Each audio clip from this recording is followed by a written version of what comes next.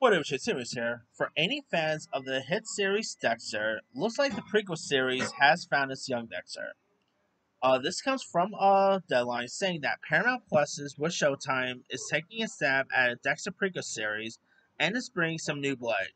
Patrick Gibson from uh, the OA fame will play young Dexter Morgan in the upcoming 10 episode um, series Dexter Original Sin.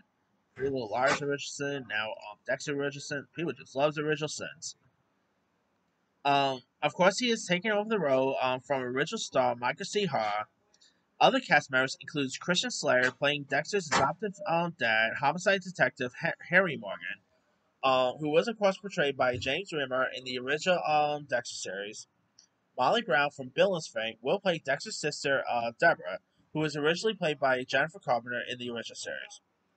Dexter Original Sin is set in 1991 Miami, 15 years before the original series, as Dexter transitions from student to avenging, to avenging serial killer. When his bloodthirsty urges uh, can't be ignored any longer, Dexter must uh, learn to uh, channel his inner darkness with the guidance of his uh, father, Harry. He adopts a code designed to uh, help him uh, find and uh, kill people who de- who uh, deserve to be eliminated from society without getting um, law enforcement's um, radar. This is a po- particular challenge for young Dexter as he begins um, to forensic, uh, forensics, um, forensics um, in- internship at Miami um, Metro Police Department. Now, the original Dexter first premiered on Showtime from 2006 to 2013 it was actually a really solid series. You know, Michael C. Hall really made a star out of him.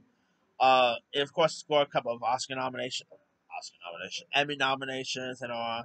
Uh, it there was also like a revival for uh, Dexter New Blood, which wasn't as great as I was hoping to, but it was pretty decent. But eh, to be honest, it could be. Uh, hopefully this will be um really decent. Like see what you know Dexter was like in his younger years.